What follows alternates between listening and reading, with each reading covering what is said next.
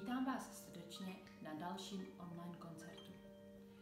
Uslyšíte bezvadné výkony žáků a žaček. Zahrají vám to, co si pro vás připravili a naučili se za poslední tři měsíce.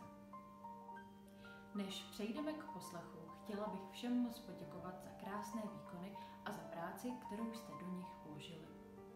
A na závěr bych chtěla říct, že ať už jste na své klavírní cestě kdekoliv, nejdůležitější je, že pokračujete dál a hrajete s radostí. A nyní už